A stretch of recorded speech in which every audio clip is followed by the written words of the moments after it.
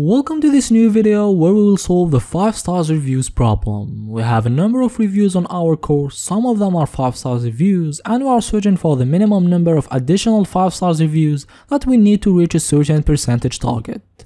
By percentage, we mean the percentage of 5 stars reviews. For example, if we have 16 reviews and 10 of them are 5 stars reviews, the actual percentage is 62.5%.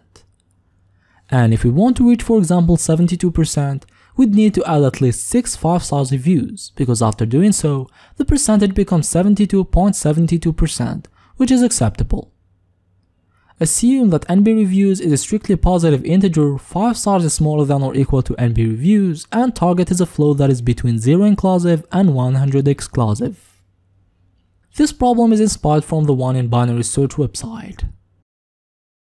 The first solution is the brute force solution. We keep adding 5 stars reviews until we reach our target. In our example, we add one review, the percentage becomes 64.7%, not enough. We add again, it becomes 66.66%, not enough, and we continue like that.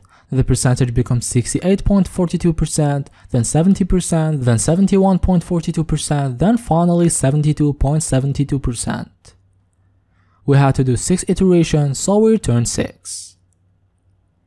In code, we initialize a counter to 0, then while 5 stars multiplied by 100 divided by NB reviews, which is the percentage of 5 stars reviews, is smaller than target, we increment the counter and we also increment the number of 5 stars reviews and the total number of reviews. After the loop, we return the counter. The problem with this solution is that it can do a lot of iterations, especially when the target is close to 100 or the initial number of 5 stars reviews is very low compared to the total number. So let's see another solution where we solve this problem with math, but before, please like the video and subscribe to the channel.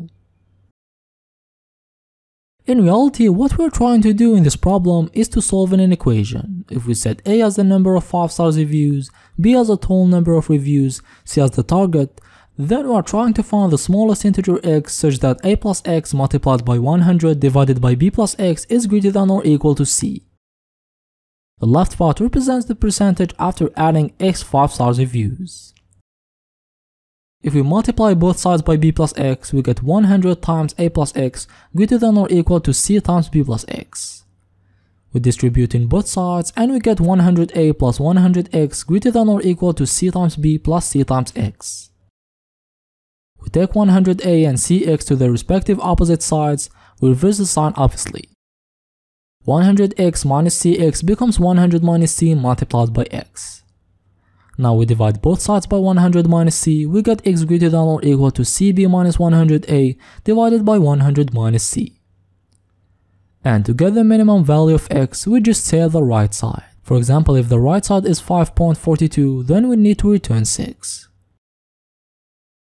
In code, we just replace a, b, and c by their respective inputs and we return math.ceil the right side of the equation. We don't need to check for division by 0 because in the problem we assume that the target is always less than 100. And this solution has an over one time complexity because we're just doing arithmetic operations, which is better than the first solution how's the number of iterations of the while loop is this one. We reached the end of this video, I wanted to solve this problem to show you that knowing some math is important for solving some coding problems, so try to work on that. I hope that you enjoyed the video, like and subscribe to the channel, and see you in the next one.